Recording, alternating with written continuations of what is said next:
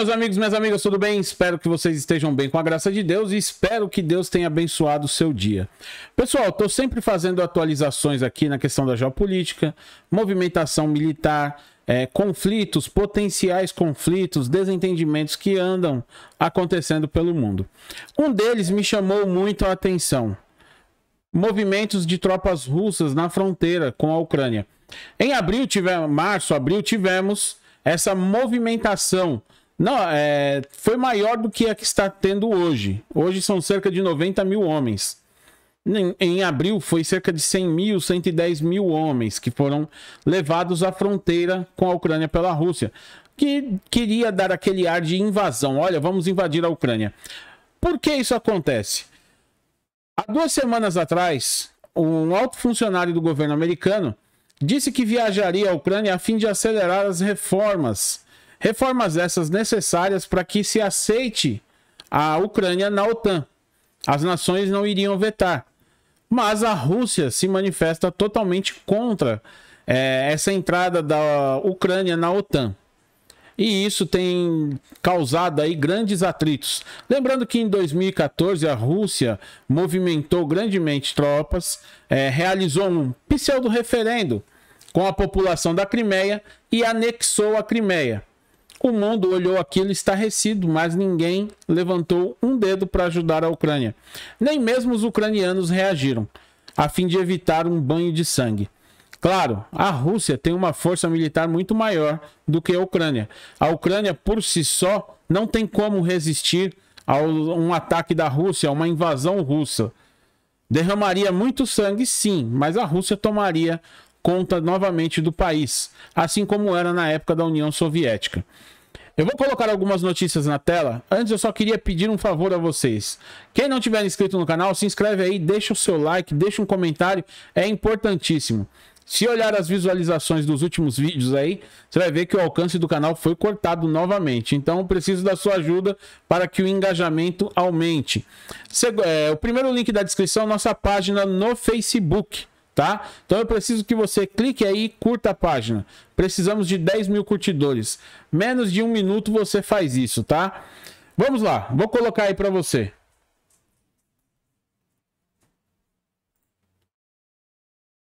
Pentágono monitora possível concentração de tropas russas perto da Ucrânia. O Pentágono monitora a região a região da Ucrânia em meio a relatos de uma nova concentração de tropas russas. Como eu falei, em abril houve essa concentração, houve, sabe, aquele ameaço de invasão por parte da Rússia. Na fronteira daquele país, informou seu porta-voz John Kirby nesta segunda-feira. Segundo o jornal The Washington Post, funcionários americanos estão preocupados com os movimentos incomuns de unidades militares russas naquela área. Vídeos publicados nas redes sociais mostram trens e comboios de caminhões movendo tanques e mísseis no sudoeste da Rússia, perto da Ucrânia. Um funcionário americano que não quis ser identificado confirmou que houve alguma movimentação, embora não tão grande quanto o aumento das forças de Moscou no começo do ano. Estamos a par dos relatos públicos sobre uma atividade militar russa incomum perto da Ucrânia, confirmou John Kirby. Continuaremos a consultar aliados e parceiros sobre esse tema. Como dissemos antes, qualquer ação intensiva ou agressiva seria de grande preocupação para os Estados Unidos. O movimento acontece logo após o secretário de Defesa dos Estados Unidos, Lloyd Austin, ter percorrido a região do Mar Negro, onde fez paradas na Ucrânia e na Geórgia países parceiros da OTAN e na Romênia, membro da aliança, para expressar solidariedade e apoio no enfrentamento à Rússia naquela área. Separatistas alinhado à Rússia, alinhados à Rússia no leste da Ucrânia lutam contra as forças do governo ucraniano desde 2014. Também em 2014, tropas russas tomaram a região da Crimeia, na Ucrânia, o que levou a duras sanções ocidentais contra Moscou. Em março, semanas após a posse de Joe Biden, do presidente dos Estados Unidos, é, a Rússia concentrou milhares de tropas, equipamento militar pesado, embarcações e aviões na fronteira com a Ucrânia e Crimeia, onde permaneceram por semanas. gerando temores de invasão. Moscou indicou que a movimentação era um exercício, mas analistas perceberam a mesma como um aviso para Biden. E foi. Tá? Washington se recusou a aceitar a reivindicação russa sobre a Crimeia e forneceu ajuda militar a Kiev para uso no combate aos separatistas, tá? Então, isso vem acontecendo, essa movimentação vem aumentando. A Ucrânia está sendo usada aí, na realidade, está sendo usada pelos dois lados. A Rússia, que se opõe à entrada dela na OTAN, é, que se opõe a essa parceria com a União Europeia, é, e os Estados Unidos, que querem usar a Ucrânia como um escudo, querem colocar é, mais tropas próximo à Rússia. Claro que a Rússia não irá permitir tão facilmente isso. E aí resta o quê? Chegarmos a bem próximo às vias de fatos como estamos estamos nesse momento aí, tá? 90 mil homens é gente pra caramba. Não é, não é uma coisinha à toa. Claro, ele vai invadir? Provavelmente não.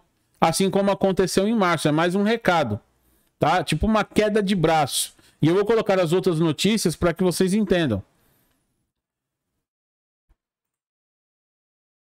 Tá aqui, ó. Rússia adverte a OTAN sobre a entrada da Ucrânia na Aliança Transatlântica. Veja aqui, ó. Citando o vice-ministro das Relações Exteriores russo, a agência estatal de notícias diz que qualquer movimento para a admissão de Kiev no bloco terá consequências. Aí eles fazem o quê? Movimentam essas tropas, deixam apostos na fronteira como, olha, se aceitarem, nós vamos invadir, nós vamos anexar a, a Ucrânia. Seria mais ou menos esse o recado que a Rússia está mandando, não aceitando a instalação de bases e tropas da OTAN na Ucrânia, tá?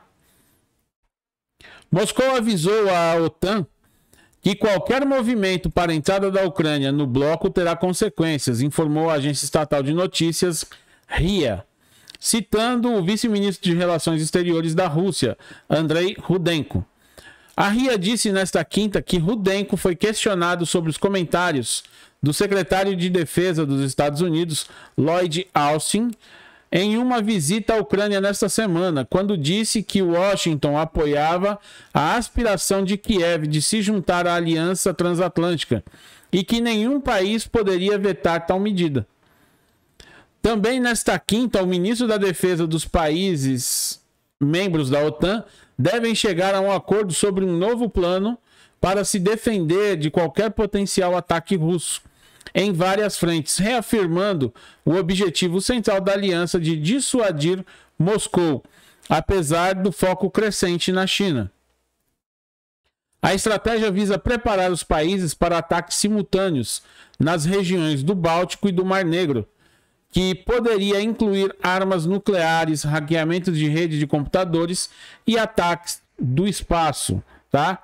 Tudo isso sendo preparado aí. Então, de um lado, eles estão avançando tropas, do outro, eles estão se preparando para possíveis ataques. Essa é a situação do momento. A possibilidade de haver um conflito mínima, mas há.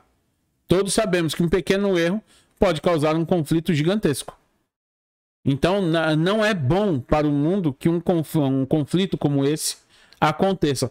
Principalmente no momento que vive os Estados Unidos com a presidência do Partido Democrata, né? Os Estados Unidos têm se mostrado cada vez mais fracos. Eu estava vendo uma notícia que fala que a, a marinha iraniana sequestrou um petroleiro no mar de Oman e o, os destroyers americanos que estavam postos ali ficaram apenas olhando. A marinha iraniana com pequenas lanchas subindo a bordo do, do navio e levando-o embora. A ordem de Washington não interferir. Um país que se mostra ultimamente fraco. Vejam a saída do Afeganistão. Vejam é, os outros acontecimentos que vêm vem aí na sequência. A China fazendo demonstrações de, forças cada, de força cada vez maior na região de Taiwan. E os Estados Unidos com o senil Biden ali, parado. Virou um, um, uma brincadeira.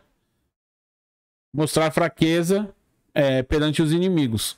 Na época do presidente Trump, isso não acontecia. Porque sabiam que ele era meio biloló da cabeça, né? Que ele poderia reagir a qualquer momento. Então não havia brincadeiras. Bastou ele sair da presidência, trocou o presidente, olha a fraqueza que os Estados Unidos está mostrando. Cada vez mais o, o Oriente mostra força perante ao Ocidente, porque os Estados Unidos estão baixando a cabeça. Eles, que são a maior potência militar do mundo, hoje pregam a diplomacia, não demonstrar força, aceitam tudo e assim por diante. Infelizmente, demonstra fraqueza. Isso é preocupante. Rússia e China realizam primeira patrulha conjunta no Pacífico Ocidental. Patrulhas envolveram um total de 10 navios de guerra, 5 de cada nação, e duraram uma semana. Navios de guerra russos e chineses realizaram a primeira patrulha conjunta na parte ocidental do Oceano Pacífico, afirmou o Ministério da Defesa russo em comunicado. Neste sábado, as patrulhas envolveram um total de 10 navios de guerra, 5 de cada nação e duraram uma semana, de domingo 17 de outubro a sábado 23. Então vocês vejam, cada vez mais, como eu venho falando, e eu, eu nem coloquei na tela, vou pôr aí na tela, para que vocês vejam, tá? Tá no, na CNN aqui, ó. É, cada vez mais estão demonstrando fraqueza. E é nessa fraqueza que a China vem se fortalecendo. É nessa fraqueza que a Rússia vem se fortalecendo, que vão ganhando aliados, vão formando um novo eixo oriental. Irã, China e Rússia, como eu já mostrei, além de a Turquia que está na OTAN, mas com um pé nesse eixo aí, como eu tenho mostrado em alguns vídeos, tá? Então é importante prestar muita atenção nessa, nessa sequência de fatos. Não estou dizendo que a Rússia irá invadir a, a Ucrânia amanhã. Não, não é isso.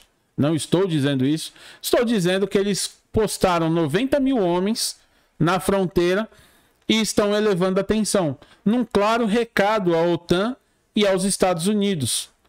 Estão demonstrando força perante a fraqueza da maior potência militar. E isso realmente é preocupante, principalmente para o Ocidente todo. Tá certo? Um grande abraço aí. Que Deus abençoe a todos e até a próxima.